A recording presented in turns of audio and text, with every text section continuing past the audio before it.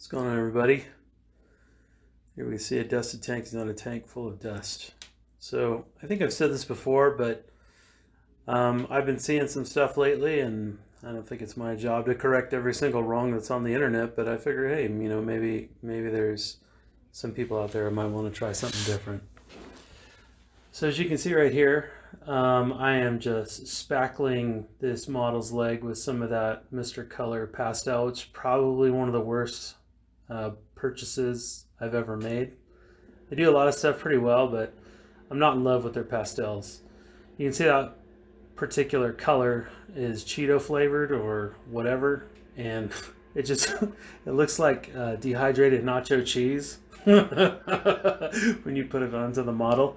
So um, I prefer maybe something a bit more neutral, a less less uh, cheesy. Anyhow, I, I'm I realized kind of after the fact that I, uh, by putting this in here, I might give people the wrong idea, but this is basically the not how to do portion or how I would not do it.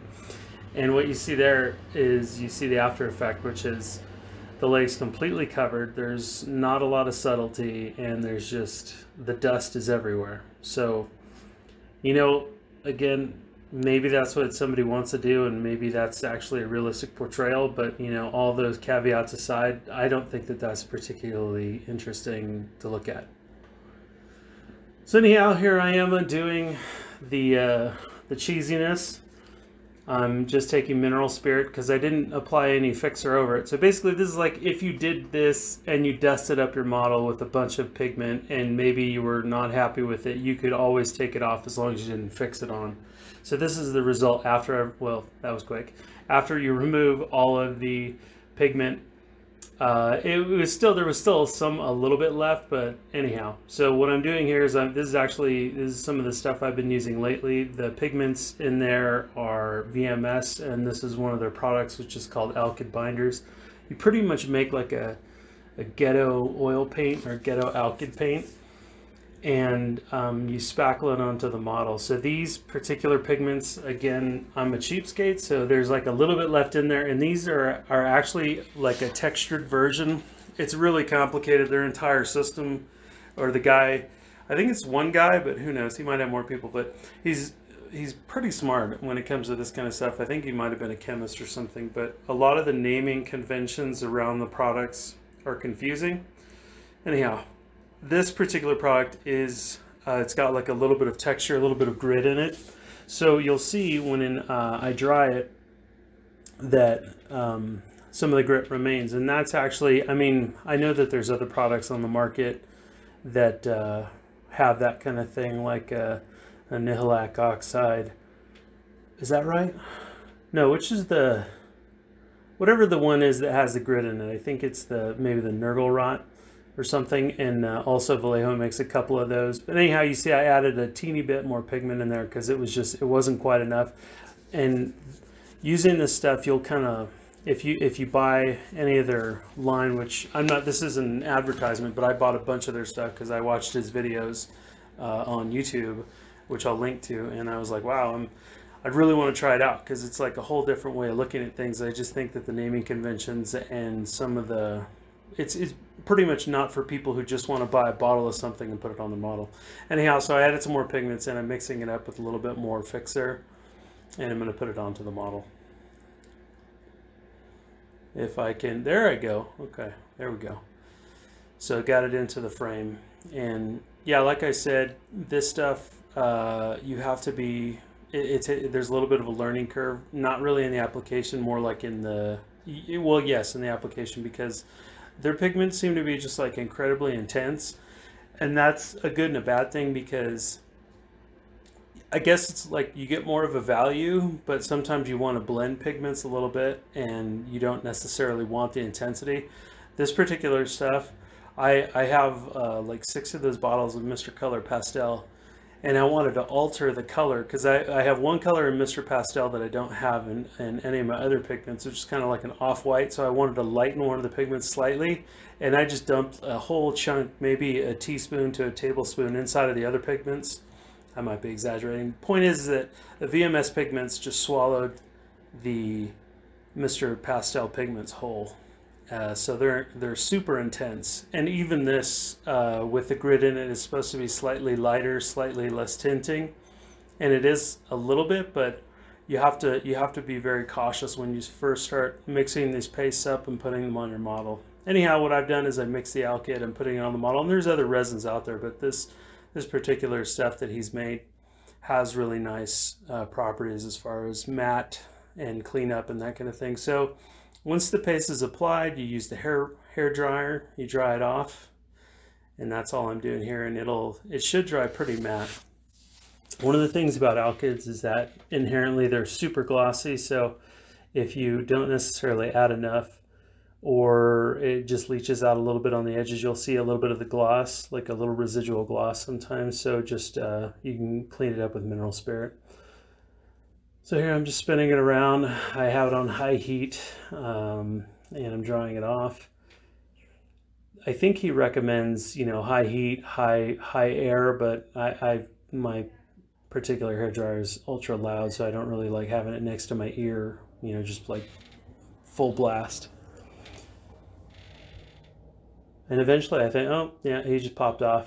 I think, I'm not sure if in this clip maybe in one of these clips, like the, the whole backpack comes off, which I thought I had cemented it, but I guess not. I, I put some Mr. Cement Deluxe over the paint, and usually the the cement will eat through the paint, and this is plastic, but in this case it didn't. I don't know why. So here's a close-up. You can see the grit. Uh, you can see the texture, and actually, I mean, this is, like I said, the grit is for a 135th scale model. This particular model, I think Warhammer is like, you know, a 154th. So it's not too far apart and really the grit doesn't seem that bad. Um, it doesn't seem like too uh, large or out of scale. And um, yeah, I think it looks fine. But wait, there's more. So I'm gonna zoom back out and then I'm gonna start cleaning it up. And again, this is a now you'll notice a brush is a little bit more damp than I would do if you ever watched any of the other videos. I flatter myself that there are people who are actually coming back to watch these. Um, that there's a bit more thinner in the brush and so I'm cleaning up with uh, just a little bit more thinner and really I mean you could go in with a drier brush it'll just take longer because when you apply heat to the alkyds they seem to really stick so the whole the whole benefit of using this particular product, in case you're just like, what's an alkyd? Why am I doing this? I would recommend watching the guy's videos, but in a nutshell, these things uh, they're kind of like an oil-based product. You can clean them up with uh, mineral spirit, and um, you have like a you have a window. You have the same kind of 24-hour window to apply the uh, paint and and clean it up, and then after that, it, it's going to be I don't know um, it actually it starts to dry a little bit sooner than that, so you won't necessarily have that full time. But I think he advertises it, it advertises it as a nine-hour window in which you have to clean up, and then of course after the fact you could always add product. And um, so if we go with less rather than more, you know, sometimes we have, you know, you can always layer it up. Uh, it really depends. I mean, if, if you apply something and you're like, that looks great, then so be it. If you want, like on this one, this kind of just, it was sort of an idea I had out of the blue. I know everybody is uh, maybe at home right now and uh, it's been a while, so I thought I might do something. So anyhow, here I am kind of just cleaning off the main areas, uh, pushing it into the recesses. And what this particular type of pigment with the with the grid in it, what it does is when it gets kind of stuck into corners and stuff, it kind of like clumps up like dirt clods in in the corners, and I'll try to point that out when the video is over with. But here I am just going around cleaning it up, doing my thing, getting a brush in there, moving it around. Oh yeah, that's good stuff. Okay. More of the same. Um, you know, I just, while I'm cleaning all this stuff up, I'll just take a minute it's been uh, it's been a long time and a lot has happened and i'm sure everybody has a ton going on so you know i, I don't know. I mean uh, very rarely do i feel the urge to do anything anymore. When i initially started making videos it was mostly because um, there were some people who needed help on reddit and i kind of made a couple videos and people seemed to like them so then i made a couple more. And then uh, well one thing led to another, and then I ended up getting a different job, and I just like everything went out the out the window. So it's been a while. Anyhow, um, finishing up. Um, I think I'm gonna hopefully get to the point where I point some stuff out. Just moving it around, keeping it off the main surfaces, and like I said, if you wanted to keep it on the, uh, if you wanted to keep a little bit more dirt, that'd be fine. But this is kind of like, this is, I would say, a supplemental activity to using uh, with other weathering products. It really depends. Like normally this is kind of for the groundwork on a tank or the bottom, like if you were going to do, uh, you know, mud and those kinds of effects on the along the running gear or close to the bottom of a tank. So that's why you want this kind of heavy application on a model. Maybe you want a little bit less, but actually I think this is well suited to the purpose. Um, but you just have to be very sparing with it, even more so than other stuff, just because of how intense the pigments are. And until you get used to mixing it, you'll mix a bunch of paste, or at least this is, I'm just speaking about myself. I mixed a ton of paste, wiped it all over the model, and then it's like you can't get rid of it. It doesn't matter what you do. You move it around, you're just, you're still having this film and it, it never quite leaves the model. This is actually working pretty well. And the only thing I can think of is, is that I had so little pigment that it's kind of cleaning up a lot better. That's probably the only reason. So there's my little guy. And this chapter is no chapter in particular. I just kind of like the way the color looks, to be honest. And I was like, I really want to see what sepia colored paint looks like over white. that was the whole impetus behind this project. Okay, so I'm, oh, I'm drying it off again. I'm using the hair dryer, just, uh, you know, evaporating all the thinner and getting into the nooks and the crannies. And I think there's still, there's actually still a little bit more cleanup to do, but I sort of wanted to get to the point because this video is already pushing the 10 minute mark.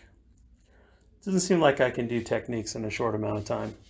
So you can see a little bit of that residual orange Cheeto dust, but like like I said later on, I can go back in those crevices with some oil paint and that won't be a problem.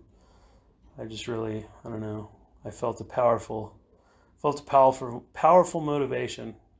Okay, so here we are. I'm pointing out, you can see there's a teeny weeny little clump of dirt right there. There's another clump of dirt right there. And those are those little uh, balls of grit that kind of wad up when you use this particular product, which are, it's really cool and it's very unique to this uh, system, which is the VMS system if you ever check it out. So anyhow, that looks pretty good. Uh, thanks for stopping by and um, maybe I'll do another one of these again. Talk to you guys later.